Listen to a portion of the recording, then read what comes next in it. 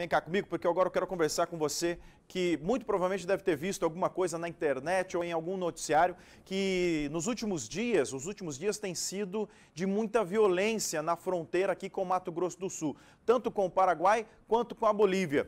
Deixa eu conversar diretamente lá com o pessoal da Rádio CBN Campo Grande, a minha querida Ingrid já chegando aqui ao vivo para conversar com a gente, da Rádio CBN, que também faz parte aqui do grupo RCN de Comunicação. Ingrid, querida, tudo bem? Bom dia. Bom dia, Rui, e para toda a sua audiência. Bom, final, não vou nem dizer final de semana, né? Mas últimos dias tem se registrado aí um grande número de. Aliás, a violência tem aumentado, né? A gente sabe que nunca foi uma região calma, tranquila, mas que nos últimos dias tem registrado aí cenas de guerra. Ali, principalmente a região cidade de Ponta Porã, com Pedro Ranco Cabaleiro, enfim, a gente tem visto essa situação bastante complicada ali, né? Isso, Rude. É, eu vou começar falando sobre a chacina que ocorreu no último sábado em Pedro Juan Cabaleiro. Seis suspeitos desse crime, de participarem desta chacina, foram presos hoje pela manhã no Paraguai. Entre as vítimas dessa, desse crime está a filha do governador do departamento de Amambai, Reile Caroline Acevedo, de 21 anos. Os suspeitos estavam no bairro Paraguaio, Maria Victória, e com eles também foram apreendidos seis automóveis, celulares, joias e documentos, segundo a polícia.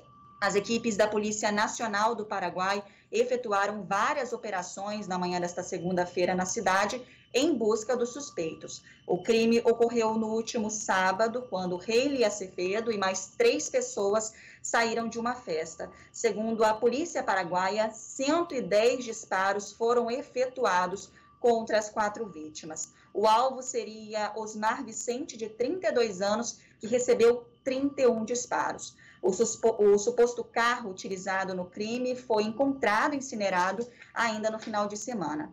Na parte brasileira da fronteira, a segurança foi reforçada com o envio de equipes do Garras, Batalhão de Operações Especiais e da Polícia, da Polícia Militar e Batalhão de Choque.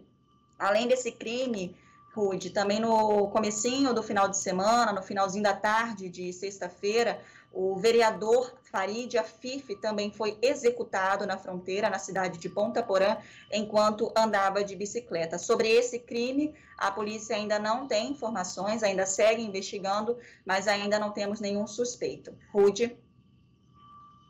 É, e a gente, a gente ainda não, não, não é muito precoce dizer se a morte do vereador com a, a, essas, essa chacina que aconteceu no sábado, por exemplo, ainda é muito cedo para dizer que tem alguma ligação, né?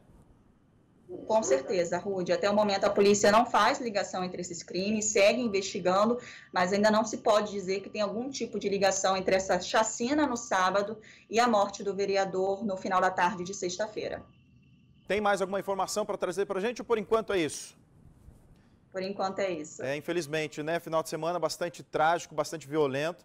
Né? É, é, é, e a gente sabe que a, essa, essa fronteira seca né? entre o Brasil e, e, e, o, e, o, Paraguai é uma região que tem uma disputa muito grande, porque, é um, é, é, queira ou não, acaba sendo porta de entrada de drogas, de armas e outros tipos de contrabando. A gente sabe também que a facção criminosa brasileira mais conhecida aí, que é o PCC, também disputa espaço aí nessa nessa região e ainda, né, é, é, não só disputa o espaço, como também tem agido dentro do Paraguai, né?